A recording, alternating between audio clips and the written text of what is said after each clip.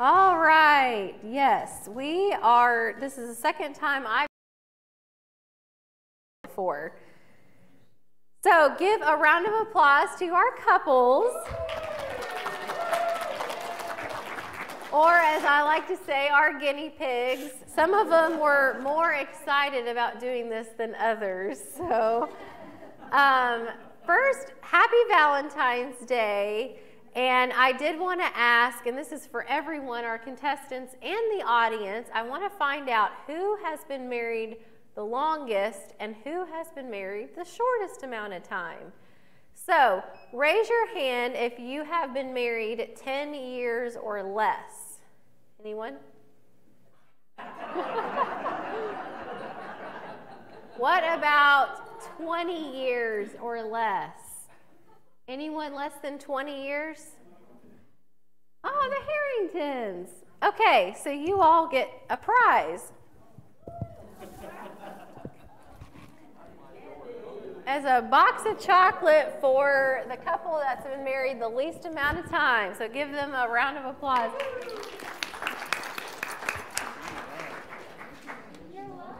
So I guess the Harringtons are the newlyweds here. So, okay, now raise your hand if you, well, I know there's people that have been married more than 50 in this room. So if you've been married more than 50 years, more than 60.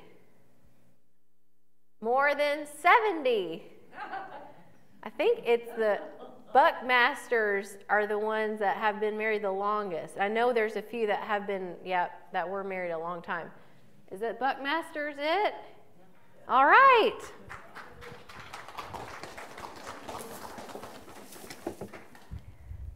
Some chocolates for the Buckmasters. Thank you.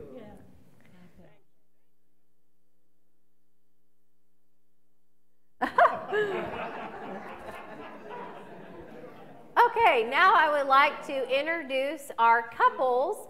Some of them you know very well, some of them you're going to learn more than you want to know. I'm just kidding, they're getting nervous. Okay, so we're going to start with, and I'm going to have Alexandria help me pass the mic. We're going to start with the Millers. I want them to tell us a little bit about themselves in one sentence about how they met and how long they've been married. And you can, uh, while you're sitting in your spots, you can take your masks off because you're with your own spouse. We, we met in Richmond, Virginia 57 years ago when I was in dental school. Wow. And how long have you been married? 57 years. 57. Wow. And one sentence, how did you meet Mrs. Miller? Well, she had a party at her house, and uh, I showed up inadvertently there and met her, and she was dating someone else. And about a year later, I started dating her. I like that. Good. All right, give the Millers a hand. Browders, how long have you all been married? Or say it in the, yeah, say it in the 63 years. Wow.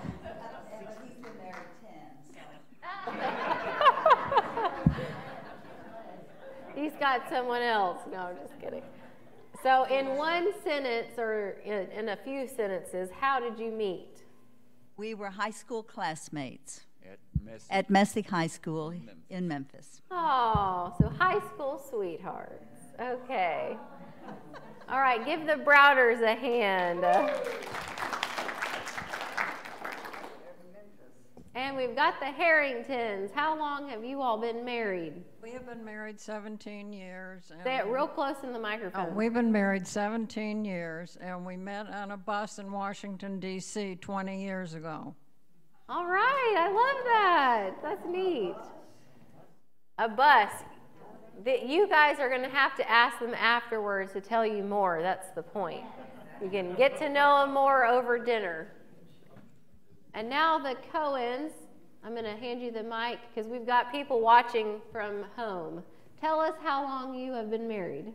30 years. 30 It'll be years. 30 in December. Okay. And how did you meet?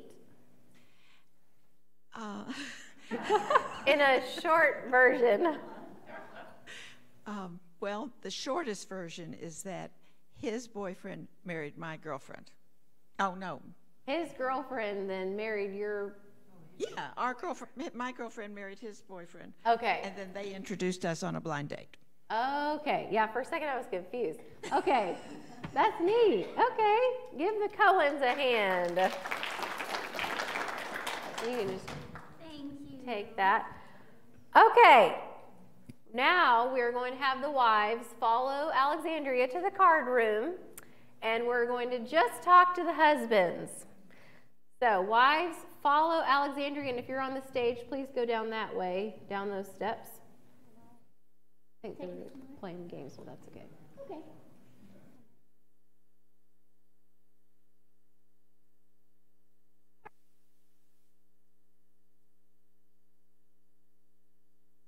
Husbands, while you, am I still on?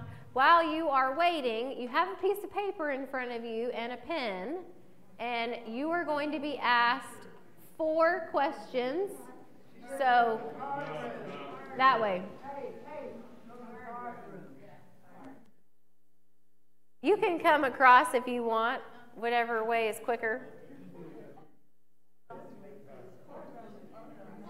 Yeah. Yeah, you can leave that here, because you will fill out when you get back. All right, men, this will make it easier. Number your page one through four. You're going to answer four questions.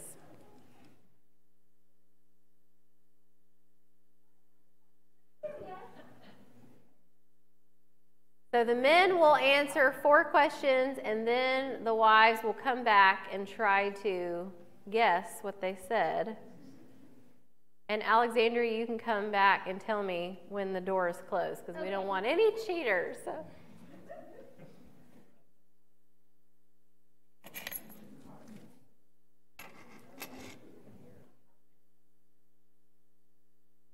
How are we feeling? Men. Nervous, yeah. This will be fun. I might blush, and you might too, but that's okay. I'm going to wait till I get the signal.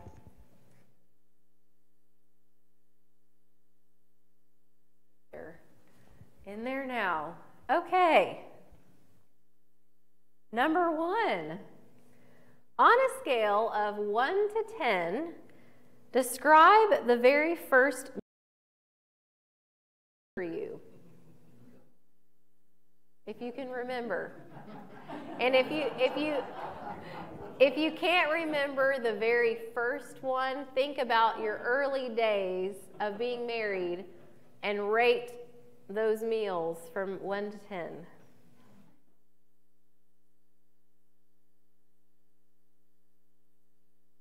Alexandria, could y'all hear me down there? Okay, good. Okay, I'll say it again. On a scale of 1 to 10, how would you rate the very first meal your spouse cooked for you? And we're going to go ahead and hear your answers. So I'll have you pass this around. You can go ahead and tell us and then write it down. A 10. Oh, wow. He's really looking for some brownie points. Good job. You All damn, right. you Mr. damn right, you damn right I am. He better say a 10, huh? Now, we're supposed to be honest here. I'll, s- I'll say nine, but she's going to say five, so I'm cheating. Okay, well, that's nice. Okay, Mr. Harrington. I give her an eight. An eight. Okay, I like the honesty. And then Mr. Cohen. I said outstanding, but I guess that's a 10. But the Yeah. first was an event where she did a crown rib roast of lamb. And it Oh. was unbelievable. And Wow. I wasn't long after that that we got together again. I bet. All right, moving on to question number two. What one word would your spouse use to describe your family? Only one word, and this is your family. What would your wife say about your family in one word?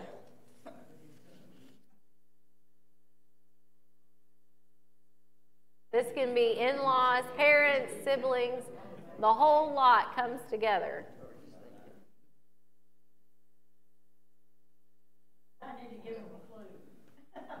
I know. I'm trying to, well, um, man, I can't even think of one. It, I guess it depends on if it's good or bad. um,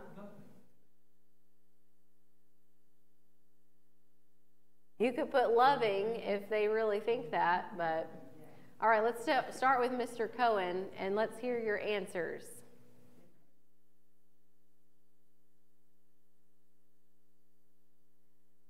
Again, I couldn't number it, but it's diverse and complicated. All right, diverse and complicated. I think she'll just say we were friendly. Friendly. Oh, I like that. I see your answer. I'll say crazy, but I doubt if she's going to be that honest. Okay, we'll see. I'm going to tell them they have to be honest. I'm going to lose on this question. That's okay. What are you going to say? Intimidating. Intimidating. Oh, boy. Okay. That's because you all who know my wife, she's very quiet and mine is loud, and she's just sort of intimidated by my family. Okay. all right, question three. Would your spouse say that you're the type of person who likes to try new things or stick to their guns? You only have two options here, so. Do you like to try new things or stick to your guns? What do you think they would say? We'll start with Mr. Browder. Say it in the, yeah. I guess she'll say stick to my guns. Okay. Dr. Miller? Stick to my guns. Okay, I think we're going to hear this a lot today. guns or uh, try, try new things. things. You either are willing to try new things or stick to your guns. Okay. Try to do things. All right. Good. Mr. Cohen. And definitely stick to the guns. Stick to the guns. Okay, interesting. All right, last question might get me fired, and I just looked back and saw my boss. All right, if you could compare your wedding night to an animal, would you say it was would you say it was more like a turtle, a panda bear, or a tiger? I'll give you a moment to pick. You only have three choices, so it's pretty simple. I won't explain either, or I really will fall out. I'm already turning red. Okay, uh, a turtle, a panda bear, or a tiger? I think Dr. Miller was pretty quick to answer, so we'll get it. what would you say? I'm very prideful. Tiger. All right. Mr. Browder. Panda bear. Okay. I like that one too. oh, the panda bear. Okay. And another panda bear, I hope. All right. Okay, Alexandra, you can go get the wives. Everyone give the husbands a round of applause. Good job, very brave. I honestly can't wait to hear the answers on these ones. By the way, your roses are for you to keep. You can take them home with you today. And the prize is a large box. Let me get the prize out while we're waiting.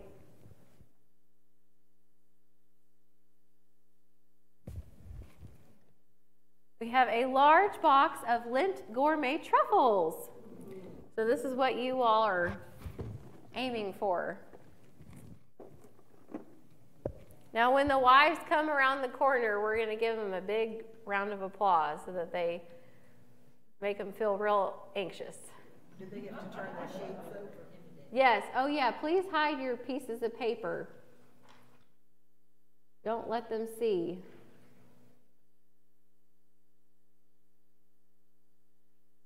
Here they come. All right, give them a round of applause.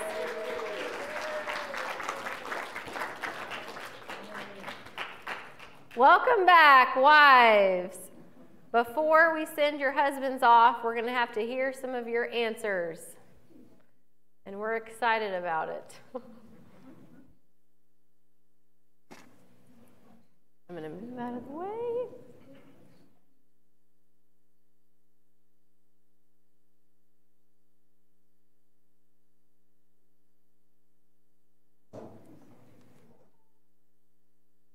All right, wives, the husbands were asked a series of four questions, which now you're going to have to guess what they would have said. Are you ready? And I'll have Alexandria pass the mic. The first question was On a scale of 1 to 10, how would you rate the very first meal your spouse cooked for you? So, Mrs. Browder, what do you think that Mr. Browder said from 1 to 10? oh, and yeah, wives, you can pull your mask down if you want. To 10. A Very 10. first meal. Seven. A 7. he actually said, you can hand him the microphone. What did he say? Well, I said nine, but she'll say five. There you go. That's okay. Give him a give him a clap. All right, Mrs. Miller. I'll ask you the same question. What do you think your husband said on a scale of 1 to 10 on what he thought your meal was, the first one you made for him?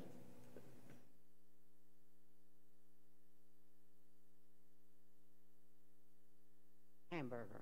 No, what a scale of 1 to 10, how good was it? After 57 years, he would probably say an eight. Okay, say it in the microphone. He would probably say an eight. An 8. What did you say? 10. A 10. Oh, that's okay. That was very humble of you. Okay, Harrington's. Mrs. Harrington, what do you think he said how your meal was that you cooked for him on a scale of 1 to 10?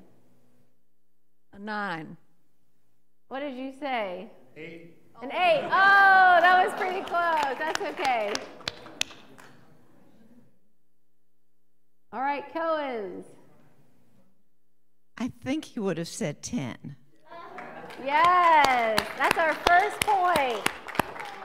And we're on a five point scale. So the Cohens got are the first ones on the board. Good job. Okay, question number two. What one word would your spouse use to describe your family? That's what the husbands were asked. so now we're going to start with Miss Harrington first. What one word do you think he said that you would describe his family? Yep. Your opinion on his family in one word.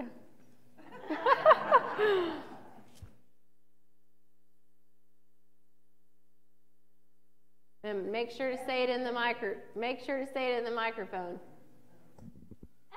Educated. Oh, that's nice. What did you say? He said friendly. Well, that was a good try. Now the Cohens. Mrs. Cohen, what do you think, in one word, his family, what would you describe it?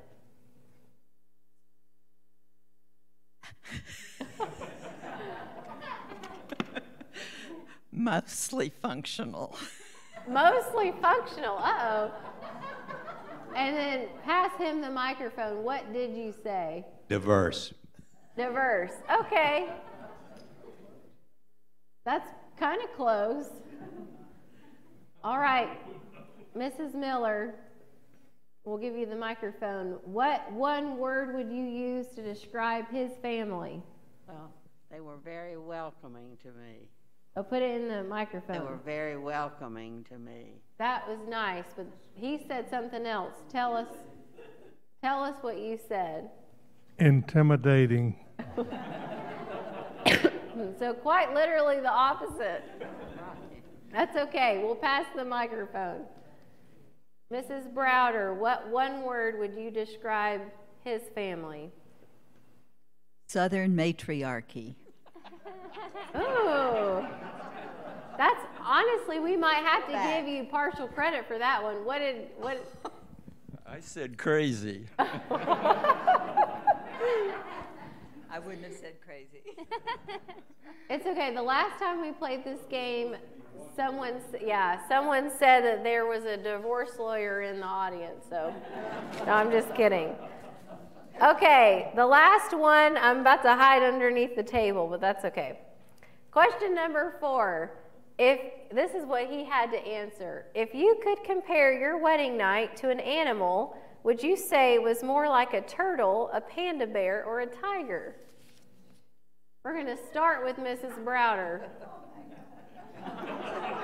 what what animal do you think he used? A turtle, a panda bear, or a tiger? Uh huh.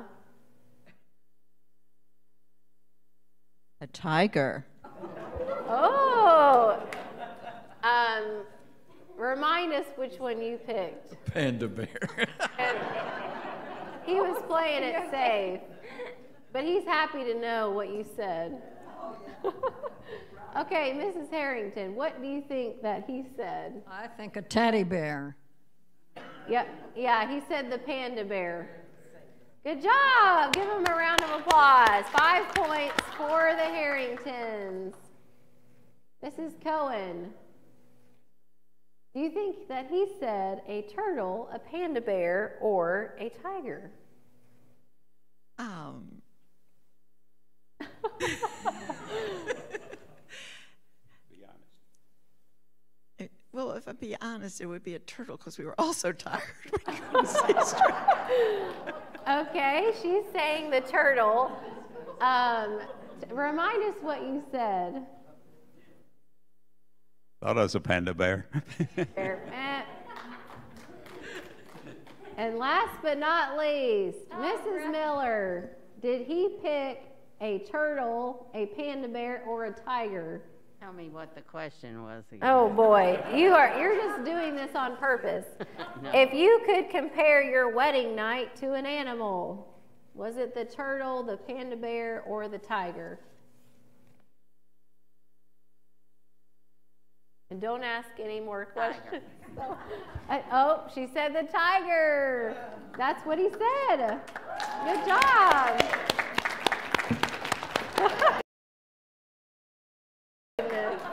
Good job. Everyone give a round of applause, and the men, it's time to go out. All the husbands. Al, yep, we did all four. Now the men are going to follow Alexandria to the card room, and now it's the wives' turn to be on the hot seat. So we're going to give them just a minute spot.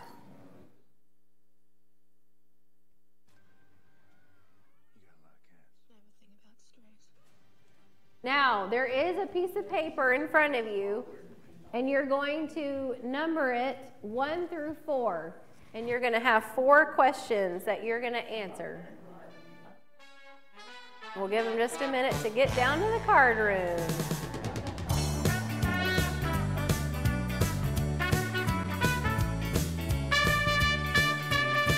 Yeah, number it one through four.